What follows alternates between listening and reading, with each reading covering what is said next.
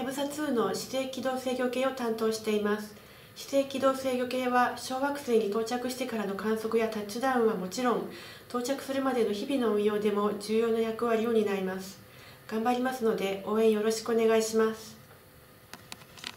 はやぶさプロジェクトチーム姿勢制御系の三増と申します、え、私はこれまで、えー、開発の中で、シミュレーションを通して解析や運用検討というのを行ってまいりました。そういったこともあって今後の運用の中で誰からも頼られる存在として、頑張っていきたいと思っています。応援のほどよろしくお願いします。